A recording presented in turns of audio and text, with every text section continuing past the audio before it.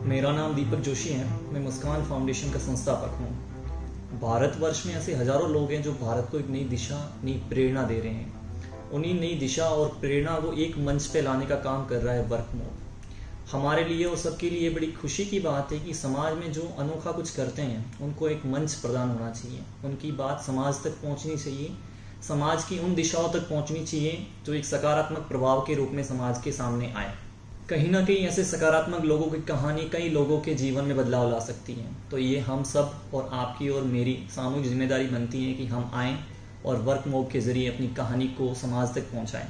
अगर आप भी ला रहे हैं समाज में छोटा से छोटा परिवर्तन तो वो समाज के लिए बड़ी भूमिका निभाता है।